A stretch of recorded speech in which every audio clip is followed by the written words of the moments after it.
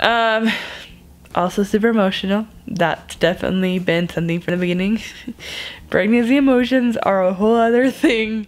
Water was tasting like there's mothballs in it. Hey everybody, welcome to my channel. If you're having a great day, great night. My name is Brianna, and today I'm gonna be going over the first trimester, how things have gone, um, different details of things I've gone through and all that. I guess I'm wearing the same thing as last week. I'm filming back-to-back -back videos and I don't care because today is just gonna be the day. um, so going over signs, symptoms, how everything is. Um, before we get this video, please give it a thumbs up, subscribe, push the bell notification, and let's get into this. Um, so it's been really interesting. So we had a miscarriage right before this, and with this one as well, um, five days um, post ovulation, I had these like weird emotional spells. Um, I've never heard of anyone else, and it was really early to feel any signs, but um, I did kind of feel um, something. I'm trying to think back. I would say about like week, well, it was week four when I finally started actually feeling um, pregnancy signs. Maybe not finally. With the first pregnancy, I felt them a little bit earlier on. Um, so it was week four uh, when I started finally feeling um, like pregnancy symptoms. Um, week four, right about the start, I started getting nausea. We were camping and the nausea hit and I was definitely a miserable camp trip. We ended up coming back early and I got sunburned really bad on top of that. Um, so it was not um, fun at all. Um, and the nausea kind of slowly kept getting worse and worse and worse because at first it was just like slightly there. I could still eat, do whatever I wanted. Um, but definitely kind of getting worse. Um, other signs I was having early on, exhausted. Um, I was also having um, a hard time catching my breath and uh, I'm still, I'm definitely get tired and stuff.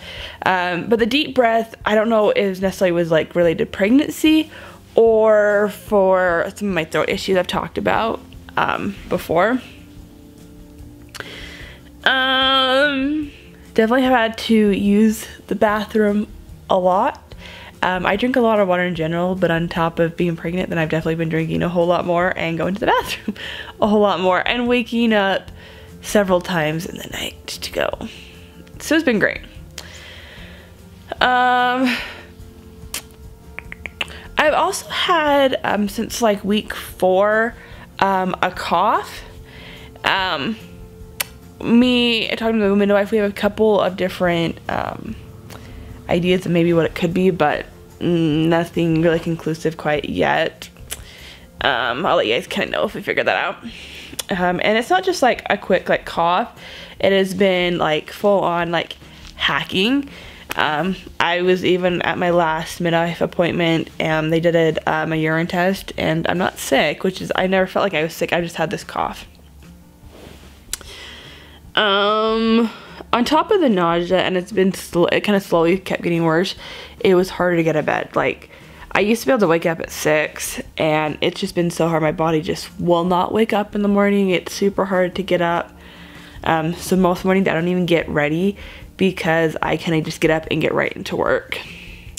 Um, and luckily I work from home and can kind of either I work from bed sometimes or um, I have a camp chair that I normally work in that reclines and so that's helped out a whole lot as well because sometimes with um, my neck issues it's hard for me to lay in bed and get in the right position that's not going to push my neck um, out of alignment and it cause some like so time before my spine has been pushing into my throat which is great when you're pregnant and adds on to everything else that just is miserable um also super emotional. That's definitely been something from the beginning.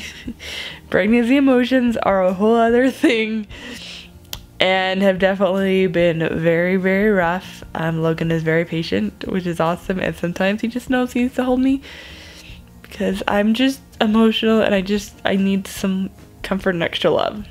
So I was talking about um, the nausea, and it started from week four, but it was definitely bearable. And then I'd say about week six, it got really, really bad, and I was having a super, super hard time eating anything. Um, I believe it was week six, too. Um, we were doing the craft show, and luckily Logan had taken time off work, so he was able to help set up and do all that. And then it was a two day thing. It was a Friday and a Saturday. Saturday, I didn't even go there until later because I was so sick.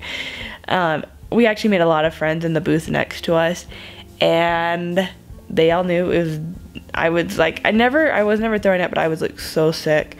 Pretty much, I was eating um, pickles, which is actually helping, and then I went a little bit with the nausea, and then I was just eating like I think I got a burrito down and some fries, but it was like weird because Had a super hard time. I was just super weak and pretty much just sat there. Um, so I'd say week six and seven were the hardest to get foods down. I think especially trying to transition into like the nausea being that bad. I felt like after, me necessarily wasn't totally better, but I was starting to figure out more foods I could eat and kind of just working on eating even when I wasn't feeling great. Where before it was kind of like I'd would persistently like I not that I would avoid. Well, I definitely would avoid eating because I was so sick, and then it made it worse because then you have stomach pains. Um, so I kind of was starting to get more of a handle on it. I would really say one of the worst problems though that was making everything worse was toothpaste. Um, the toothpaste I'd originally been on was like too sweet, so it was leaving a sweet flavor in my mouth um, that would just make me nauseous. And so um, I ended up switching, and then that one was too bitter. I tried another one. I've actually done like four different toothpaste since being pregnant, um, just trying to get the right flavor down it's been really, really rough and something that's not too bitter, not too sweet, and I finally think I found something. We'll see how long it lasts. Maybe we'll try more through this pregnancy. I don't know. Let me know below, uh, like, if you've been pregnant, like, do you have you had toothpaste things? Do you, like, switch it up or whatever? I don't know. Let me know below. The things I found to help with nausea, so number one, um, pickles, pickle juice was really, really helping um, for a while. Well, it wasn't really helping, but it had started to help me to get some foods down um, as I was mentioning before. Um, so I was taking that, and then it kind of wasn't. I don't know if that's just because I ran out of one brand and I tried another brand and it just wasn't as good. Um, and the other thing that actually brought a whole lot of relief was um, I have some ginger lemon pills. I'll put those down below because I got those off Amazon. And those made like a night and day difference. They were awesome. And then they stopped working, and so I kind of just had to live with it again. Um, but there's something that like while I'm having them, I don't feel nauseous and I'll take them still here and there. Um, I'm hoping I'm out of like the morning sickness, but the last two days I've been feeling relatively better. Like not totally awesome, but definitely like been improvement from what things were. Um, and I think a lot of the balance being pregnant um, is finding foods that I could eat um, would change up day by day, hour by hour, and if I could find a food I could eat several days, and it was nice because I wouldn't have to keep thinking of something. Um, some of the worst foods, so beef and pork. Um, I was realizing I was getting really sick up from, and my mom did that when she was pregnant, so that was an easy thing to just. Well, it hasn't been easy. Um, but when I also did that, chicken was just like in my mind, so I like couldn't have chicken for a while. I was only eating fish, which is great because you need meat. Um, and I also have not been eating eggs. Um, the eggs I've been kind of paranoid from. I hadn't ate them because of the high prices for a while. And then it, with our last pregnancy, I had, we'd finally gotten some, they were on sale. And I had ate some eggs, and then two days later we'd miscarried. And there's nothing scientifically, there was nothing proving that or saying that that happened, but in my mind, it was just like one of those things, just like that's a coincidence. And so I wasn't eating eggs for a long time. I actually, within last week, um, I finally have been starting to eat them again, so that's good. Um, but it's been kind of hard to get protein down. Um, I have ate a lot of burritos, so that's been my big protein um, was from those. Um, so definitely foods have been um, a hard thing. I've only thrown up twice, and it was during week 10. Um, and some people are like, oh, that's so great. But honestly, I always say I preferred when I threw up because I was feeling so sick before. And then I threw up and suddenly I could just eat whatever I wanted. And so it was really nice. Where I just feel like I've always been constantly nauseous pretty much my whole pregnancy so far from morning to night. I felt like mornings um, were pretty hard. I'm trying to get out of bed. Once I was up, it was kind of debatable. And then evenings, it would suddenly hit and be like the worst. And so honestly, throwing up almost brought some relief um, within that because there was definitely times where I was just as sick and never threw up. Um, the coughing didn't help because you start coughing and then you're like needing to throw up at the same time. So that was really, really rough. Um, so like I don't want to be throwing up constantly, but it was kind of nice those two times I did because it like suddenly was like relieving, if you know what I mean. So kind of the constant nausea was definitely like really, really hard. Um, other symptoms I've had is I've been super hot. Either I'm like freezing cold or I'm like super hot. Um, I am definitely someone who I like to sleep with layers in bed um, and just be tucked underneath the blankets and literally have to sleep. Like we have the house at 66 and I am like half my body's out because I am just sweaty and super hot as I sleep, which has never been me and it's so weird. Usually I hate any part of my body out. Um, so that has been a weird sign, symptom sort of thing.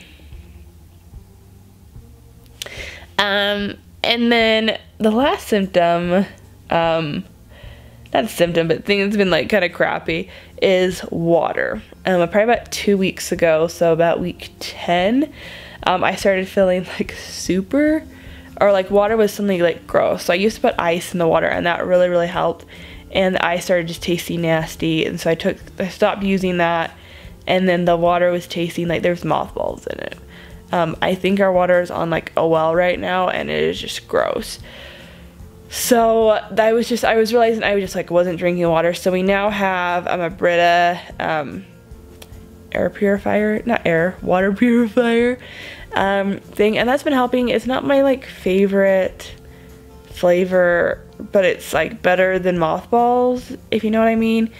Um, so I'll drink it. It doesn't like hit the spot that I'm wanting water to hit, but hopefully it will get a little better because water's you need water. You need to be drinking a whole lot of water um, to get things down. Um, overall, like, I don't know to compare it to everyone else. I don't know to like really another pregnancy. Like I was pregnant for four weeks before, um, and everyone's different and how you feel is different. Um, I would say it's been pretty rough, and that's just because we had a super busy summer and just these big events after big events and I just couldn't breathe. And every single moment that I was like feeling slightly good I was pretty much forced to do things for these big events um, instead of just being able to relax and enjoy pregnancy. And I, I feel very relieved because um, the last thing was my brother's wedding um, was last weekend and so I finally feel like I can breathe and like relax and don't have anything else stressful um, planned so I can finally start like doing fun things um, and things I want. There's a lot of, I want to make some baby clothes. I have a lot of different patterns for those. Um, we have um, like a rocking chair um, that I need to reupholster the cushions for. Um, I have like toys I want to make. So I have a lot of like baby projects. Um, if you guys want me, just let me know and I can film a lot of those. make tutorials on those. So let me know if you guys want to see those and I will make those videos.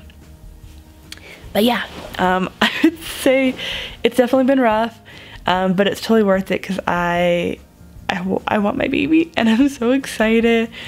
Um, I think everything's a little miracle and I've definitely had a lot of blessings even though this has been a hard first trimester. Um, there's definitely been um, a lot of blessings in between and help and different stuff. Um, still my favorite moments is like I was I've been so sick and it's just been hard for me to keep up with the kitchen, especially because it stinks. Um, that's another thing. I've had to make sure the windows are open to help kind of get fresh air in. But my sister came down one day and to help cleaned it up, and it was like such a big miracle. Um, we've now switched over to like disposable plates and bowls and cups because it just kind of helps with the dishes and the smell. Um, and until things get better, that's gonna how it's gonna be. Um, hopefully not too long because I don't really like using them. I like to wash stuff or like using reusable thing like dishes because they're just cuter. But yeah. Um, here's a little synopsis overview. It was probably jumbled. I tried to make it kind of organized, but there was so much information and it probably was still all over the place. But I hope you guys liked this video. If you did, please give it a thumbs up, subscribe, push the bell notification, and if you could, share this video with two people. It would really help me and help this video grow. And let me know what other content you want below, and I will see you guys next week. Hope you have a great day, great night. God bless.